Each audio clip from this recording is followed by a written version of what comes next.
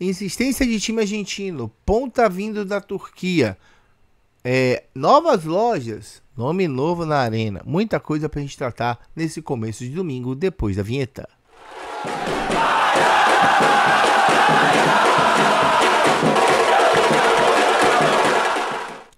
Fala galera do YouTube, beleza? Eu sou o João e esse é o canal João Bahia, o seu canal de torcedor para torcedor.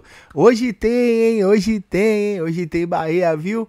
É Bahia Esporte Direto, lá da Arena Fonte Nova, jornada começando às 15h15, eu Antônio Jacques, e vamos fazer uma festa bonita. Mas eu peço, por favor, vamos chegar a 25 mil, deixa aí o seu like, ó, likezeira na Bahia, inscrição, comentário, só vai ter mídia independente e rádio fazendo o jogo. O jogo é exclusivo ESPN Star Plus. Então, já sabe onde você vai assistir o jogo, né? Comigo e Antônio Jacques, direto da Arena Fonte Nova, esperando fazer um jogo bonito, uma transmissão bonita, trazer todas as coisas aí a respeito de Bahia e de Esporte Clube do Recife, clássico regional. Acho que o maior clássico aí entre as duas equipes. Vamos trazer as notícias por ordem de chegada, né? Vamos falar primeiro.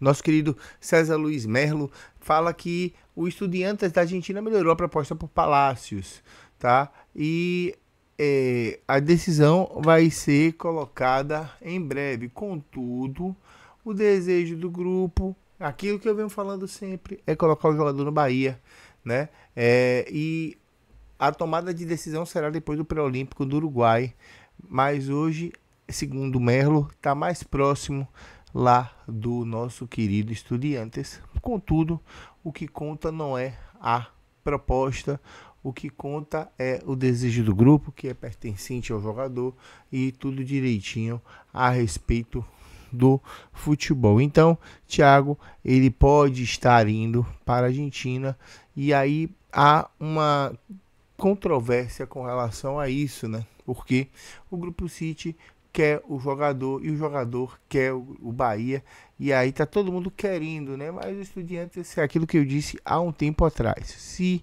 e somente se o Estudiantes pagar essa grana à vista, ele vai para Estudiantes, vai ficar em La Plata e vai voltar a jogar na Argentina.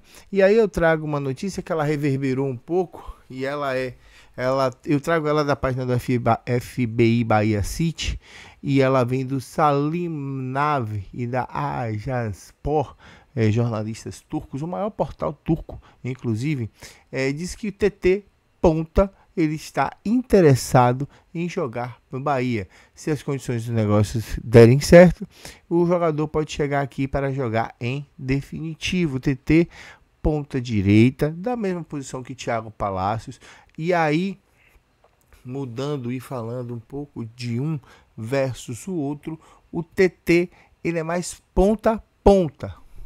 Ponta, agudo, de ir no fundo, de dar assistência, de finalizar. É um cara de velocidade, de bola rápida no último terço. Esse é o futebol do TT. O jogador que ele vai é, dar ao time uma válvula de escape pelo lado. Então é um cara que ele vai é, é, um cara de velocidade, é um cara rápido, é um cara que vai poder fazer as coisas a melhor maneira. Já o Palácios é um outro tipo de jogador. É um jogador que joga mais por dentro. Ele faz essa ponta, dá essa assistência, vai para o fundo, faz um contra um bem, mas o Palácio tem aquele, aquele passe que rasga a defesa. Palácios e TT, eles têm ele, contemporaneidade de idade, acho que o Palácio é um pouco mais novo, mas o TT é, é mais agudo no último terço, no que se refere a ir para cima dos adversários. Já o Palácios, ele pode fazer a ponta como extremo e ele também pode fazer a do Everton Ribeiro, né, que de ponta, a do Cauli, que é de meio, e ele vai poder flutuar e trabalhar bem naquelas coisas. Ao meu ver, o Palácios é mais versátil que o TT. Não são jogadores da mesma posição e que gerem e que trabalham o futebol de maneira diferente, tal qual se a informação do jornalista turco se confirmar e ele quiser realmente o Bahia e caso estudiantes afirme a sua proposta é, à vista ao City Talk, o grupo deverá vendê-lo e TT passa a ser a opção viável para a ponta para fechar esse ciclo de contratação junto com Oscar Estupinan, que deve estar chegando também ao Esquadrão de Aço, tá? Então, a gente tem aí essas duas notícias de pontas. Eu queria saber que você deixasse aqui no campo dos comentários o que, é que você acha a respeito de, de Palácios e de TT, né?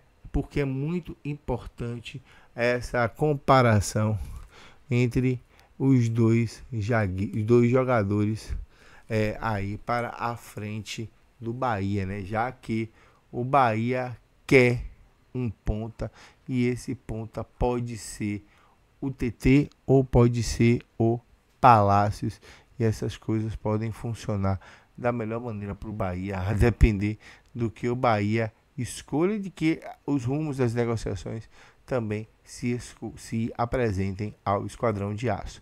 Uma notícia, mais uma dos nossos queridos do FB Bahia City, dando crédito a Gabriele Gomes. É, o Bahia vai ter um novo, a Arena Futinova vai ter um novo naming rights é, trata-se da casa de apostas Arena Fonte Nova. Ela vai ganhar um novo visual com name rights e vai ficar desse jeito aí que você está vendo na imagem. E o letreiro deve ficar pronto dentro de um ou dois meses. A casa de, a casa de apostas assinou com quatro anos com a Arena, que vai até o fim da concessão com a mesma.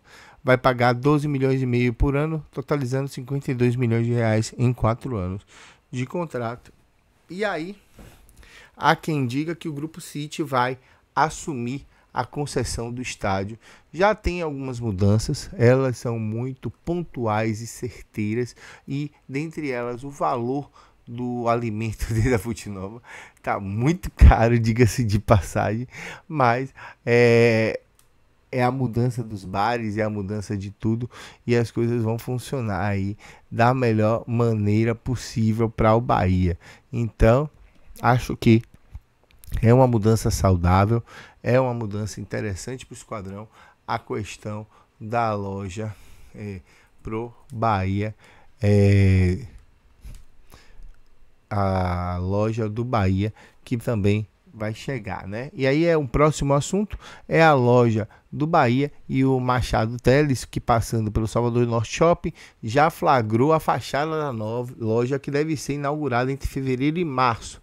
O Leiro tinha trazido a informação, e essa importante informação, de que o Bahia vai expandir as lojas do clube, a loja sócio esquadrão, a loja do esquadrão, né? Deve estar inaugurando três lojas que no Salvador Shopping, Shopping da Bahia, Paralelo e Norte Shopping, na verdade é Shopping da Bahia, Paralelo e Salvador Norte, e vai ter também uma super loja gastrobar, gastrobar na Barra.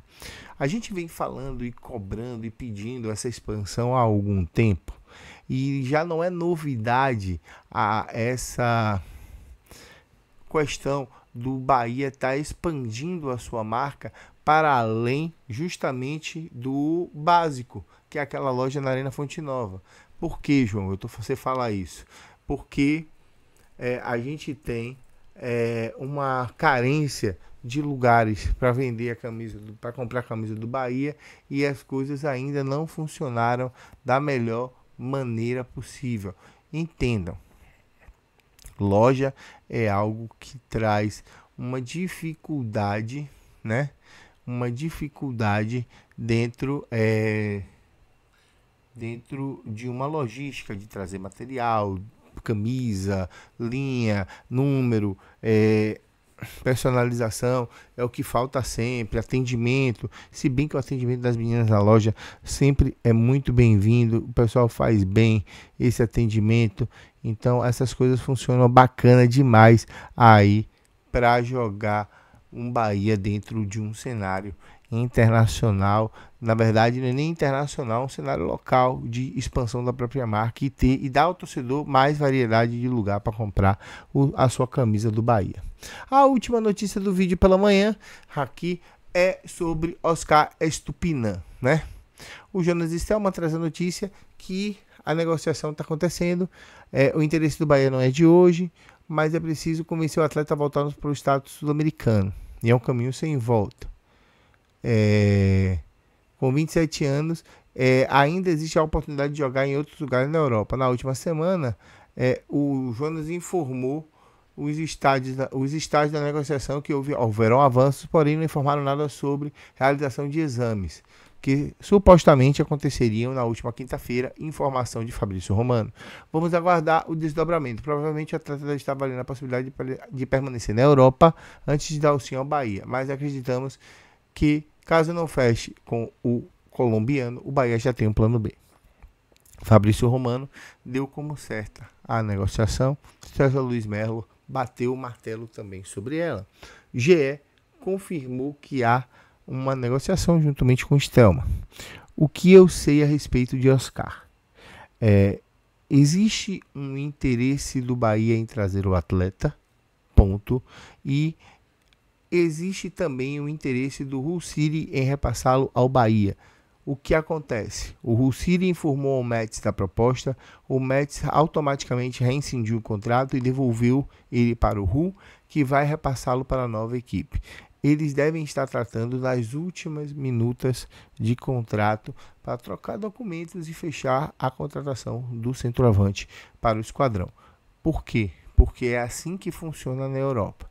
Eles têm, quando eles verem negociar o jogador, eles tiram de onde está, voltam ele para casa e esse jogador é repassado para uma terceira equipe envolvida. Até onde eu sei, não há propostas ainda pode ser que tenha e ainda não foi vazado pelo atleta para jogar no velho continente. O, o staff dele continua se empenhando para deixá-lo lá, mas tendo em vista que a proposta do Bahia é interessante, ele pode estar voltando para a América do Sul para jogar no Esquadrão de Aço, certo?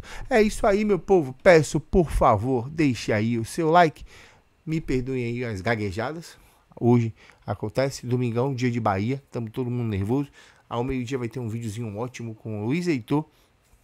Eu espero que vocês assistam e deixem aí os seus likes e colhem com a gente na jornada, beleza? O nome do Peixe é Pinote. Eu fui. Tchau, tchau. Um abraço. Até daqui a pouco.